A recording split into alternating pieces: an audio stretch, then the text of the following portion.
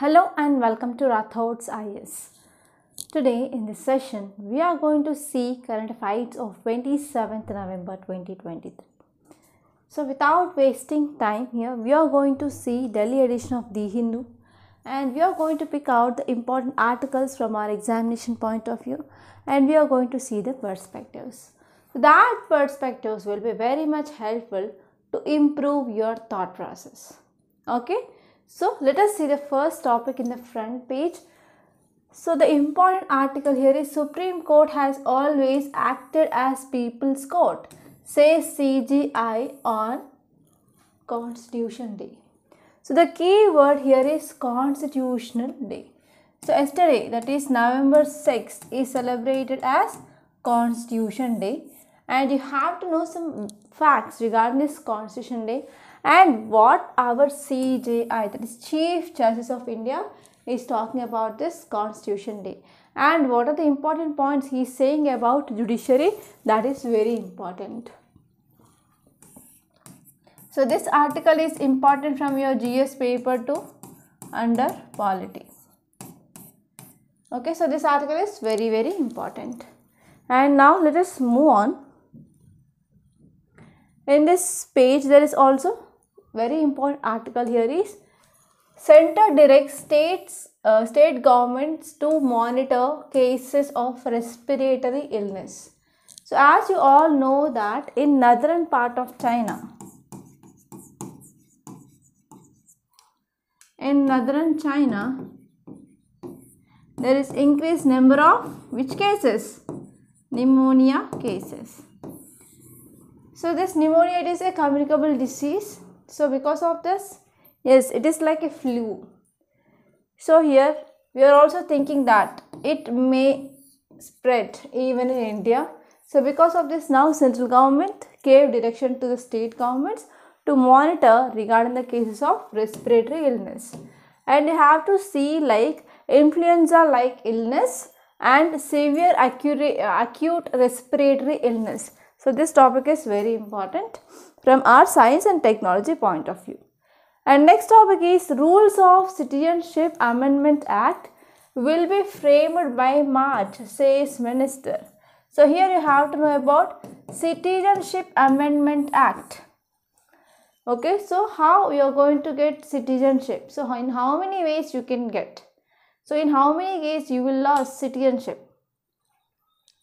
So all these are important from your polity point of view so this article is important from your gs paper too.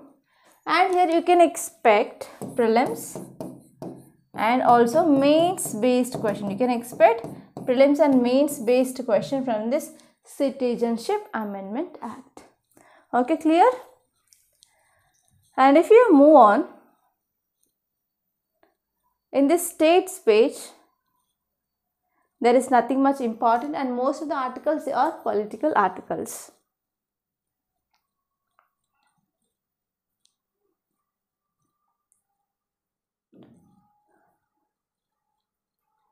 and here in this editorial page so this article is talking about elections in Rajasthan. So we're not going to bother about this. And here this article is talking about regulation of censorship. So here this article is talking about especially the tunnel issue. So here we are not much bothered about this as well. And here there is one article. It is regarding fleet electrification so this article is very important because nowadays we are facing problem called as air pollution especially in national capital region. So ncr region yes we are facing this.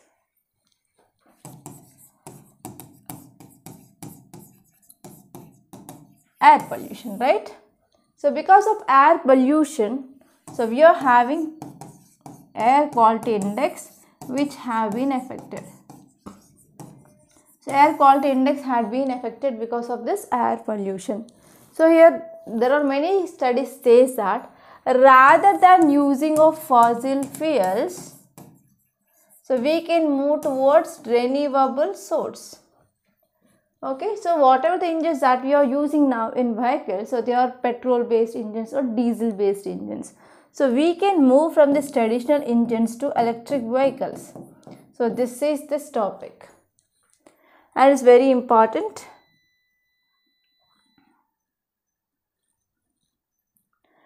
And in this opinion page, there is very much important topic that is femicides. So what is the meaning of this word femicide? That is killing of women. So this article says some data like UNODC that is United Nations Office on Drug and Crime and United Nations Women which shows that there is increasing of number of killing of women intentionally. So there are about 88,900 women and girls they were intentionally killed worldwide. Okay, so here there is killing of women. So that condition is called as femicide. And United Nations came up with a study and the title of the study is Gender Related Killings of Women and Girls. Okay, that is femicide or feminicide published in month of November. So this study which says that total number of homicides worldwide decreased in 2022 but here there is increasing of femicide that is increasing of killing of women. So here you have to see like what are the reasons for increased killings of women? So what are the measures can be taken? And even though we have some laws which are protecting the life of people, but even though yeah, they are not protecting the life of women. Okay. So you have to see this article from that point of view. And next topic is why is Bihar demanding the special category status. So here you have to focus on the keyword that is special category status.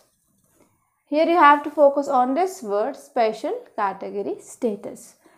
So here you have to see why this Bihar is demanding on which basis and you have to see what are the facts regarding this special category status and which are the states which are already got this special category status and on which circumstances a state can be identified as special category status. So all these things are very important. So this article is important from GS paper two under polity. Okay and this topic is important from both prelims and as well as from mains. Prelims and mains.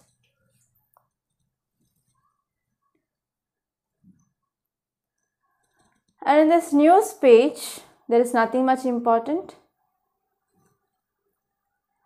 So here you can see here one important summit that is World Climate Action Summit. So this summit it is a high level segment of 28th United Nations Change Climate Change Conference. Okay. So we are going to have in Dubai, right? That is in UAE. So here our Prime Minister, he will attend this World Climate Action Summit in Dubai during this 28th Conference of Parties. So here you have to see some facts regarding this. What is this World Climate Action Summit? So this article is important from GS paper 3 under environment and ecology. So this article is important from your environment and ecology which comes under GS paper 3. And here this topic is important from both your prelims and as well as mains. So it is important from both your prelims and as well as your mains. Yes, there is one more article that is supply demand gap. Supply demand gap for pulses, oil seed, fruit to persist over the next 7 years says report. So there is one report which says that there is supply demand gap so there is increasing of uh, so increasing of demand but the supply is less of these items like pulses oil seeds fruits so because of this what happened whenever demand demand and supply mismatch. So whenever demand and supply mismatch happens then what it will cause? It will cause price instability. It causes price instability in the market. Okay? So whenever demand is high and supply is less what happen? There will be increase of price. So whenever there is increasing, uh, decreasing of demand and increasing of supply, there will be decreasing of price. So this is the condition that we will see in the market. Like whenever the demand is increasing and supply is decreasing, overall price of the good will be increased. And whenever demand is decreasing and increasing the supply is happening, then the price of that good will be decreasing. So now what happened now? We are facing inflation. So what is the meaning of inflation? That is nothing but increasing of price of goods and services in the market. So the cause here is there is supply demand mismatch. Okay, so this article is very important.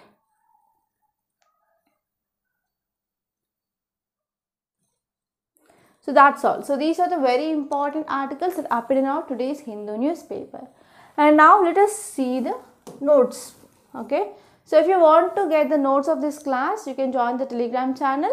Link is given in description box. Don't forget. If you want to get notes in the PDF, yes, you have to join the telegram channel.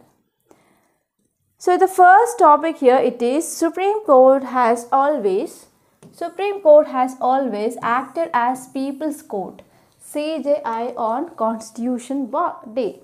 So here you have to know about what is this Constitution Day and when we are celebrating this day and why we are celebrating this day and which ministry recommended to celebrate this day. So all these things are very important. Okay.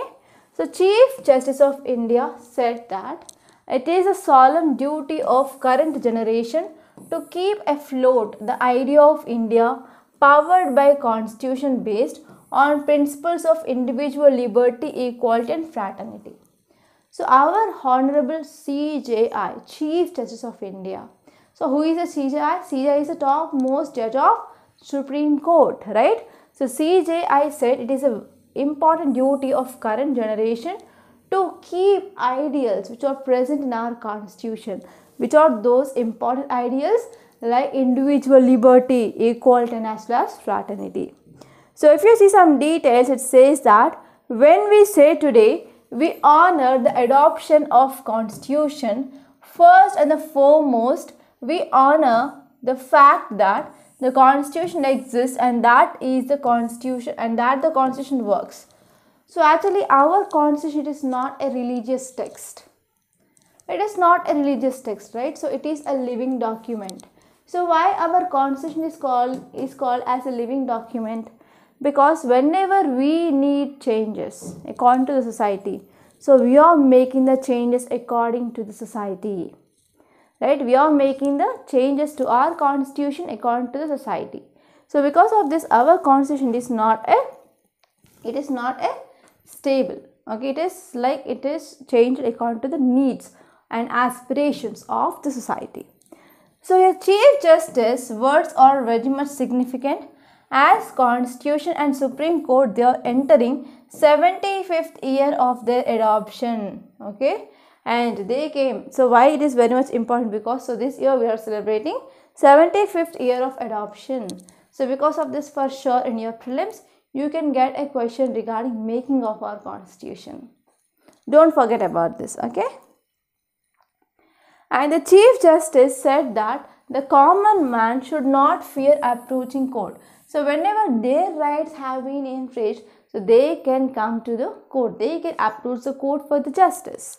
So courts, they were an extension of constitutional governance. So they are extension of constitutional governance. For the past seven decades, the Supreme Court had acted as people's court. So this is a thing which said by CJI.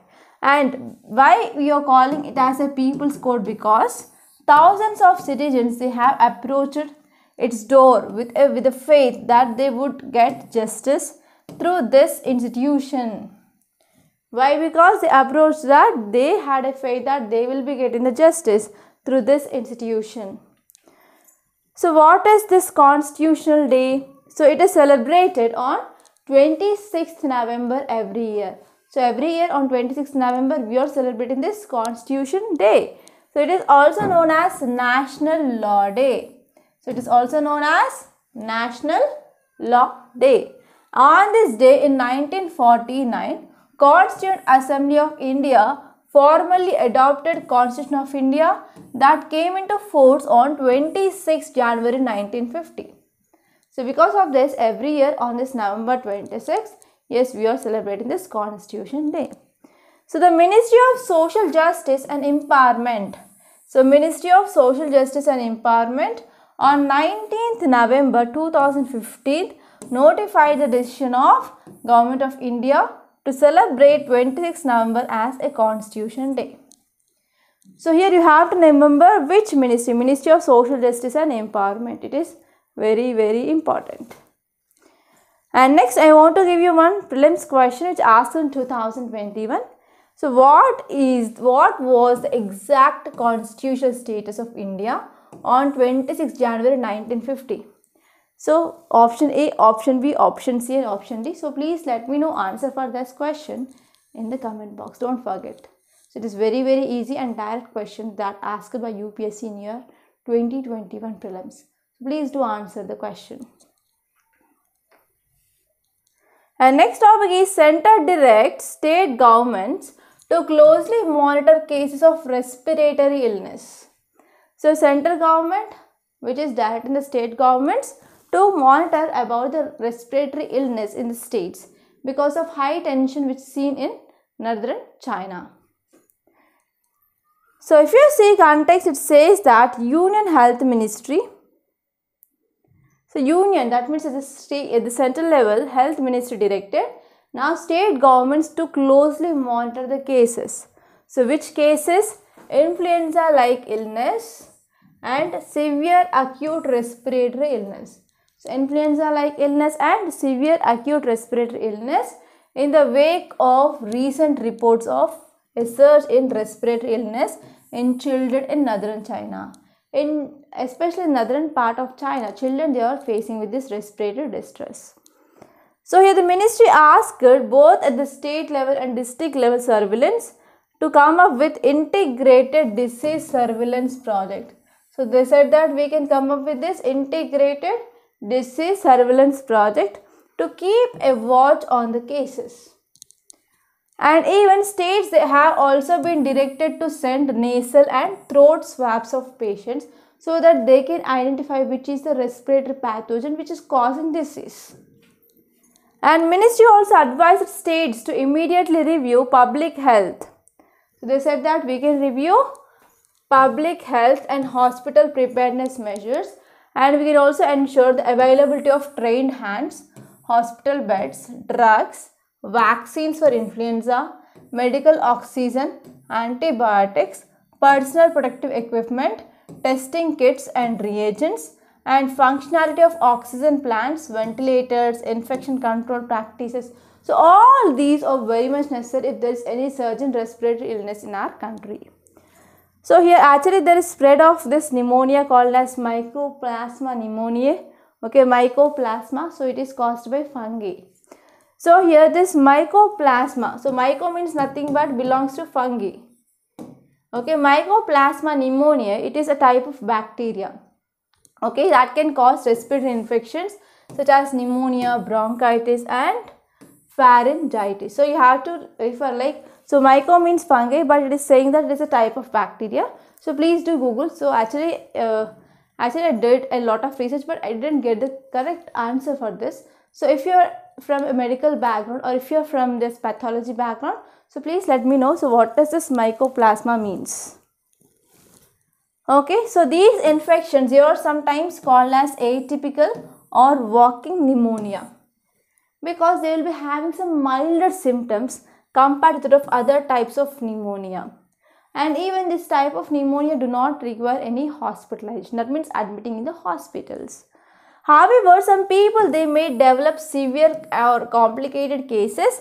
So in that severe cases or complications, yes, there is a need of medical attention. So the symptoms of this mycoplasma pneumonia infection, it will vary depending on the part of respiratory system it is affected. For example, they will get like uh, some sign symptoms like they will be coming, uh, they will be having some common fever, sore throat, cough, headache, fatigue, muscle aches, etc.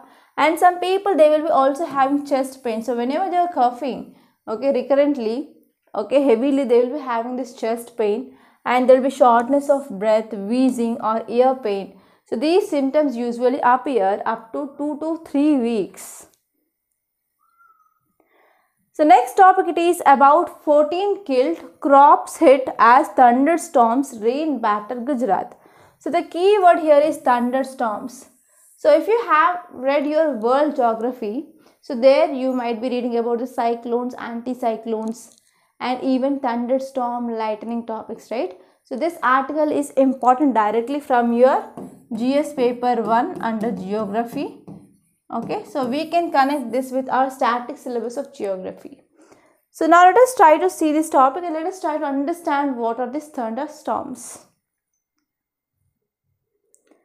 So context says that because of unseasonal rain and hailstorms which had been seen in Gujarat that killed at least 14 people. So 14 people they were died and more than 50 animals had been lost their life because of these thunderstorms and hailstorms. So this is a very large scale damage to there is also large scale damage to standing crops in as many as 220 talukas and these areas they reported multiple lightning strikes. So because of these thunderstorms, hailstorms, about 50 animals and about 14 people they died in Gujarat. So if you see the details, it says that in several districts, standing crops were destroyed and damaged by the rain. Okay, because of these hailstorms. So whenever this ice which is coming and falling, okay, in the form of rain, then what happens? So if there is any grains, for example, this is the paddy, so it is having grains here. So whenever ice is coming and which is hitting means, so every grains will be falling down, right? So it will be not helpful for getting of this, uh, collecting of this raised uh, grains which is fall on the ground. So because of this, that will causes lot of damage to the crops. So if you see some facts regarding this thunderstorms and tornadoes, Thunderstorms and tornadoes, they are severe local storms. So what are these thunderstorms and tornadoes? They are severe local storms and they are of short duration. So they will be there for short duration and they occur over a small area. Okay, so they are severe local storms and they are short. They are for short duration and they will occur in a small area but they are very much violent. So thunderstorm is a storm with thunder and lightning. So they are storm with thunder and lightning and they are typically also heavy rain or hails will be seen. So we are also getting heavy rain and as well as hails. So thunderstorms mostly occur on the ground where temperature is high. So where this temperature is high there we can see these thunderstorms and they are less frequent on water bodies because if you see the temperature on this water body is comparatively low. Yes or no? Yes, right? And worldwide, so there is an estimate which says that 16 million thunderstorms they occur each year. Okay, and there are roughly 2000 thunderstorms in progress. So next topic it is about fleet electrification and this topic is at most important and if you are writing an answer regarding how to control air pollution you can add one dimension like so we can go for fleet electrification. Clear? So you may get a question like so write a note on fleet electrification also. So why it is in use? Because if you see in this national capital region so air quality index is very very bad air quality index is low and millions of people they have to face serious health hazards due to recurring increases in air pollution. So because of air pollution, yes, here what happened, there are serious health hazards are seen. And about 9 lakh new trucks, they are added to Indian roads every year. So every year new vehicles are adding under this transport system or transport facility on these roadways. Okay, so India carries over 2 trillion ton kilometers of freight on trucks so we'll be using normally the roadways for the transportation purpose. So here because of this what happened? So whenever there is increasing of the traffic or increasing of number of trucks then what happened? That will leads to congestion. Yes or no? Increasing of traffic jams and especially these new trucks they are mainly powered by diesel fired internal combustion engine vehicles right so they are powered by diesel fired internal combustion engines vehicles and they will face a greater onslaught of PM 2.5 pollution. So they are the major reason for the increasing of particulate matter 2.5 uh, pollution in the atmosphere. So they are here we have it uh, one way forward here is we can go for this fleet electrification. So what is the meaning of this fleet electrification?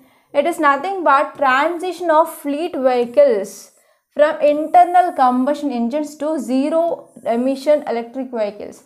So we can move from traditional diesel petrol powered engines towards this zero emission electric vehicles. And these fleets are nothing but they are passenger vehicles like we can use cars, road transportation vehicles like buses and as well as delivery vans, heavy duty trucks which are used for transportation purpose. So they all comes into this fleet vehicles. But if you move on to this uh, fleet electrification, yes, we have some challenges. So first one is there is a need for business continuity. So to maximize the benefits of this fleet electrification, yes, it is essential that electric vehicles are to be charged ready on time. So we do not have proper infrastructure. Charging must be seamlessly integrated to vehicle's journey to avoid business interruption. So we need to focus on infrastructure. And next one is whatever the infrastructure regarding this charging, charging stations that is not adequate in our country. It is very much critical. And even there is limited energy. So as the global demand of electric vehicle charging which is growing means there are energy capacity limitations. So whenever there is increase in demand, so we can see there will be delimitations. So this is also one challenge. And there is need to minimize energy cost. So even if you're focusing on availability of this energy, the cost of the energy which is depend upon the demand. Okay, and as well as time of the day. So when the demand is high during the day here, the energy comes with a higher price. So this is also one of the challenge okay regarding this fleet electrification. So I hope this is very much clear. And next topic is why is Bihar demanding the special category status? So the word special category status is very very important here from our polity GS paper 2 point of view. So why it is in news? So recently on November 22nd, so CM of Bihar, okay CM of Bihar led cabinet passed a resolution and this resolution is focusing on granting of special category status to Bihar. They are talking about granting of special category status to Bihar.